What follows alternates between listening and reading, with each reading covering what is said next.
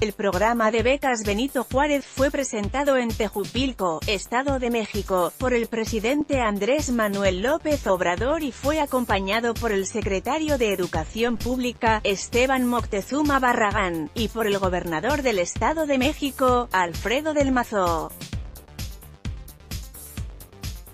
La Secretaría de Educación Pública dice que busca apoyar a más de 4 millones de estudiantes de colegios de bachilleres, preparatorias, tecnológicos y toda la educación media superior. Los jóvenes beneficiados recibirán 1.600 pesos bimestralmente con una inversión de 17.000 millones de pesos.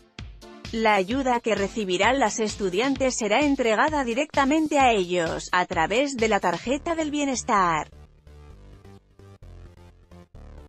Estas becas tienen como objetivo ayudar a la educación de la juventud mexicana, su permanencia en las aulas y la conclusión de su educación preparatoria. La Secretaría de Educación Pública también comentó que, la implementación de políticas erráticas en el sector que duraron poco más de 30 años, causó que 3 de cada 10 jóvenes, de entre 15 y 17 años, no accedan a su derecho a la educación, mientras que un 30% de quienes ingresan a la escuela no termina sus estudios. Mediante un comunicado, la dependencia resaltó que, de acuerdo con un estudio del Programa Nacional de Becas para el Bienestar Benito Juárez, la deserción escolar es un problema en el país que tiene impacto en 12,4% en mujeres y un 16,7% en hombres.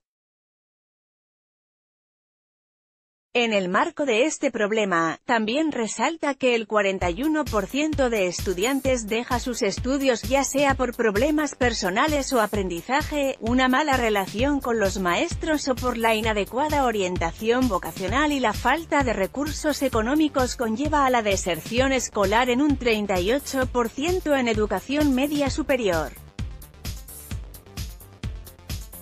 Por su parte, el presidente Andrés Manuel López Obrador comentó en su cuenta de Twitter. Las y los jóvenes mexicanos son quienes recibirán la estafeta de la transformación del país. El gobernador del Estado de México, Alfredo del Mazo también hizo uso de su cuenta de Twitter para comentar. Las becas Benito Juárez que hoy entrega el presidente Andrés Manuel López Obrador darán a los preparatorianos mexiquenses la oportunidad de concluir sus estudios y la preparación necesaria para enfrentar con éxito los retos del futuro. Reconozco y agradezco su compromiso con los estudiantes, con información de vanguardia, rancherita y Twitter del secretario de Educación Pública, Esteban Moctezuma Barragán. Fotografías propiedad de CUARTOSCURO, cuenta de Twitter del secretario de Educación Pública, Esteban Moctezuma Barragán arroba e Moctezuma cuenta de Twitter del gobernador del Estado de México, Alfredo del Mazo arroba Alfredo del Mazo anímate a comentar. Queremos saber tu opinión. Comentarios Powered by Facebook Comments.